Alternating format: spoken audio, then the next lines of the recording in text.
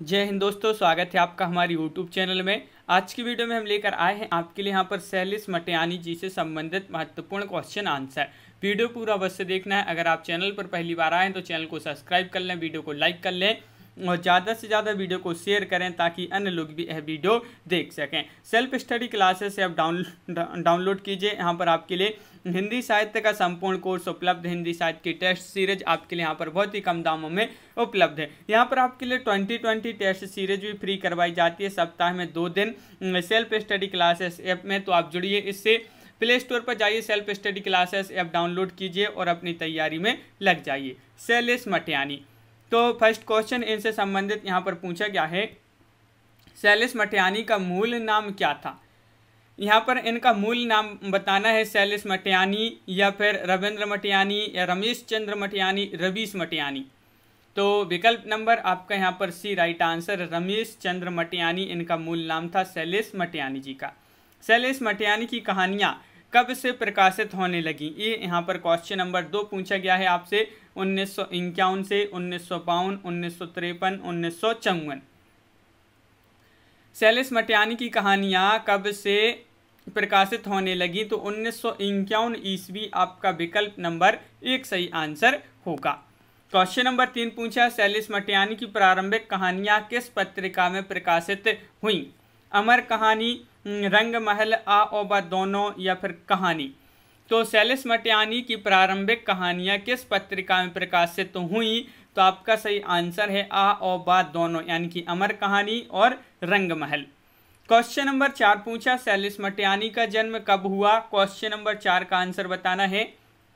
उन्नीस सौ बत्तीस, उन्नीस सौ तैतीस, उन्नीस सौ इकतीस, उन्नीस सौ तीस। तो सैलिस मटियानी जी का जन्म हुआ था कब? उन्नीस सौ इकतीस ईस्वी में। तो विकल्प नंबर एक आपका यहाँ पर सही आंसर होगा। बिल्कुल सही, सैलिस मटियानी का जन्म कहाँ पर हुआ? क्वेश्चन नंबर पाँच पूछा है, महत्वपूर्ण क्वेश्चन आपसे यहाँ पर पूछा गया है, बताइए। सैलिस मटियानी जी का जन्म कहाँ पर हुआ था? चार विकल्प आपके यहाँ पर दिए गए हैं। क्वेश्चन नंबर पाँच है और आपका सही आंसर, यहाँ पर पाँच का राइट आंसर होगा। बिल्कुल सही। अल्मोड़ा, उत्तराखंड में, यानी कि विकल्प नंबर आपका, यहाँ पर बी सही आंसर होगा। विकल्प नंबर बी राइट आंसर, बिल्कुल सही। क्वेश्चन नंबर आपका यहाँ पर छः पूछा गया है। सैलिस मटियानी की कौन सी पत्रिका निकली थी? ये यहाँ पर बताना है। विकल्प, जनपत्र, आ, ओबा, दोनों सही या अमर कहानी। तो शैलेश मटियानी की कौन सी पत्रिका निकली थी? क्वेश्चन नंबर छः में आपसे पूछा है। तो यहाँ पर आ और ब दोनों सही, आपका सही आंसर होगा। विकल्प नंबर आपका यहाँ पर सी राइट आंसर है। सैलिस मटियानी का प्रथम उपन्यास आपसे यहाँ पर पूछा गया है। बोरीवली से बोरी बंदर तक किस्सा नर्मदा बेन गंगोबाई का या चिट्ठर सेन कबूतर खाना ये आपके चार विकल्प दिए गए हैं और यहाँ पर आपसे पूछा है सैलिस मटियानी का प्रथम उपन्यास। तो इनका प्रथम उपन्यास पूछा है तो आपका सही आंसर है कि बोरीवली से बोरी बंदर तक और जिसका प्रकाशन उन्नीस सौ उनसठ में हुआ था। यहाँ पर पूछा है, क्या पूछा? देख लेते हैं। शैलेश मटियानी का प्रथम उपन्यास, बोरीवली से बोरी बंदर तक का प्रकाशन कब हुआ? देखिए, अब भी बताया आपके लिए कि बोरीवली से बोरी बंदर तक शैली इस मटियानी का प्रथम उपन्यास माना जाता है और इसका प्रकाशन उन्नीस सौ उनसठ ईस्वी यानी कि विकल्प नंबर सी आपका सही आंसर होगा। क्वेश्चन नंबर नौ पूछा है आपसे यहाँ पर। शैलेश मटियानी के इस उपन्यास में मुंबई की भागदौड़ भरी ज़िंदगी व यांत्रिक जीवन का चित्रण है। तो किस उपन्यास में है? वह उपन्यास आपके लिए बताना है तो आपका यहाँ पर सही आंसर है, बोरीवली से बोरी बंदर तक। ये जो विकल्प नंबर ए है, जो आपका यही सही आंसर होगा विकल्प नंबर एक। इसमें जो है, मुंबई की भागदौड़ भरी ज़िंदगी और यांत्रिक जीवन का चित्रण बोरीवली से बोरी बंदर तक उपन्यास में किया गया है, जो कि शैलेश मटियानी का प्रथम उपन्यास माना जाता है। उन्नीस सौ उनसठ में प्रकाशन हुआ इसका। क्वेश्चन नंबर आपका यहाँ पर दस पूछा है। शैलेश मटियानी के इस उपन्यास में मुंबई के भूलेश्वर मोहल्ले में रहने वाले मध्यवर्गीय परिवार की व्यथा या कथा है। किसमें है, वह कौन सा उपन्यास है? चंद औरतों का शहर। किस्सा, नर्मदा बेन गंगूबाई का कबूतर खाना चट्टर सेन तो आपका सही आंसर है। क्या है राइट आंसर यहाँ पर सही आंसर होगा कबूतर खाना विकल्प नंबर डी आपका सही आंसर है। बिल्कुल सही। क्वेश्चन नंबर ग्यारह यहाँ पर पूछा है, इनमें से कौन सा उपन्यास सैलिस मटियानी का नहीं है? संवाद सेतु, कागज़ की नाव, मुख्य धारा का सवाल, यदा कदा।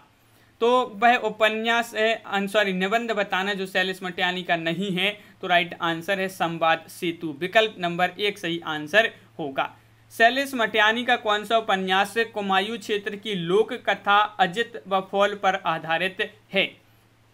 ये आपको क्वेश्चन नंबर बारह में बताना है, शैलेश मटियानी का कौन सा उपन्यास कुमायूं क्षेत्र की लोक कथा अजित बफौल पर आधारित है तो आपका सही आंसर है मुख्य सरोवर के हंस। मुख्य सरोवर के हंस यानी कि विकल्प नंबर बी सही आंसर होगा।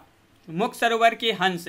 उपन्यास माना जाता है जिसका प्रकाशन वर्ष आपको बताना है तो आपका सही आंसर होगा। क्या होगा राइट आंसर इसका प्रकाशन वर्ष बताना है तो बिल्कुल सही राइट आंसर है। विकल्प नंबर यहाँ पर बी सही आंसर है, उन्नीस सौ बासठ।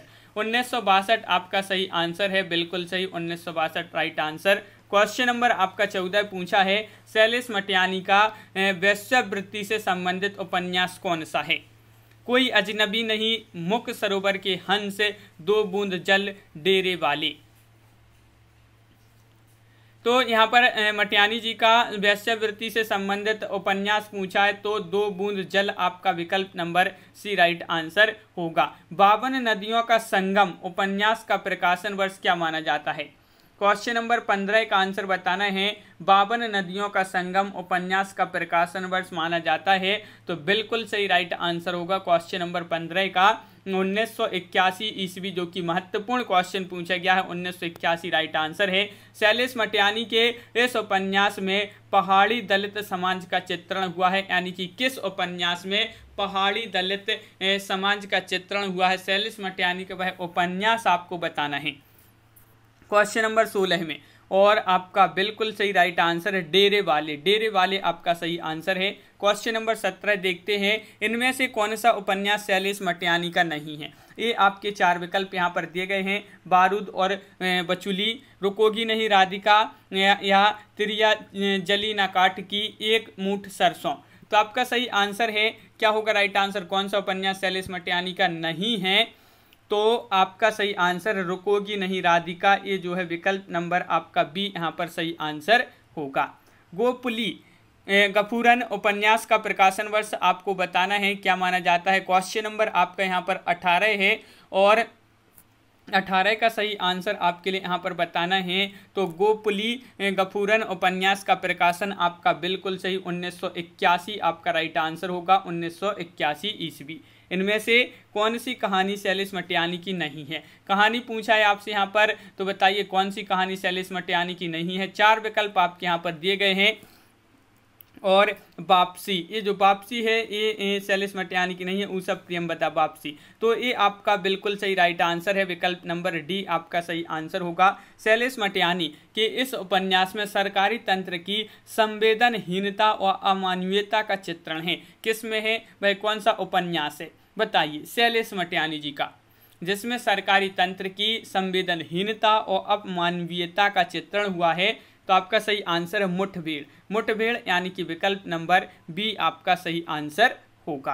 क्वेश्चन नंबर 21 पूछा है, इनमें से कौन सा कहानी संग्रह शैलेश मटियानी का नहीं है? जंगल में मंगल, प्यास और पत्थर, मैंने जहर दिया था, नाच जमरे नाच, ये आपको बताना है।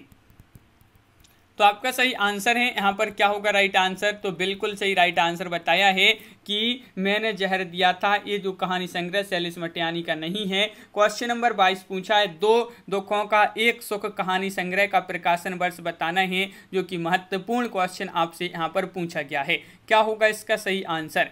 दो दुखों का एक सुख कहानी संग्रह का प्रकाशन वर्ष आपको बताना है तो आपका बिल्कुल सही राइट आंसर होगा। क्वेश्चन नंबर आपका यहाँ पर बाईस है और बाईस का सही आंसर है, उन्नीस सौ चौंसठ। उन्नीस सौ चौंसठ आपका और कहीं कहीं आपके लिए उन्नीस सौ छियासठ भी मिलता है इसका। और यहाँ पर इस प्रकार भी यहाँ पर सही आंसर है और सफ़र पर जाने से पहले कहानी संग्रह का प्रकाशन वर्ष बताइए। क्या माना जाता है? सफ़र पर जाने से पहले कहानी संग्रह का प्रकाशन वर्ष क्वेश्चन नंबर तेईस में और तेईस का बिल्कुल सही राइट आंसर है विकल्प नंबर सी उन्नीस सौ उनहत्तर ईस्वी।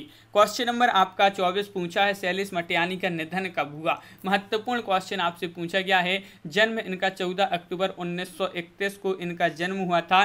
अल्मोड़ा अल्मोड़ा में इनका जन्म हुआ था अल्मोड़ा उत्तराखंड में इनका जन्म हुआ था, और इनका निधन पूछा है यहाँ पर तो आपका राइट आंसर है 2001 में। चौबीस अप्रैल 2001 में इनका निधन हुआ था तो इस प्रकार अपन ने यहाँ पर देखिए, बहुत ही महत्वपूर्ण क्वेश्चन थे।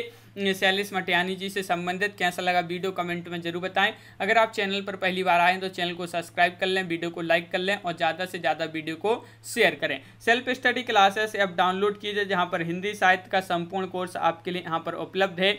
और यहाँ पर आपको 2020 टेस्ट सीरीज़ भी करवाई जाती है, फ्री टेस्ट सीरीज़ करवाई जाती है सप्ताह में दो दिन। तो इससे टेस्ट सीरीज़ से आप अवश्य जुड़ें। यहाँ पर आपको एक फ्री, बिल्कुल फ्री टेस्ट सीरीज़ हिंदी साहित्य की। तो आपको self study classes app download करना है प्ले स्टोर से और अपनी तैयारी में लग जाना है। और सभी लोग वीडियो को लाइक करें शेयर करें और सरसा पब्लिकेशन का हिमालय वस्तुनिष्ठ प्रश्न की बुक है तो आप इसको खरीद सकते हैं। आज की वीडियो में बस इतना ही। जय हिंद।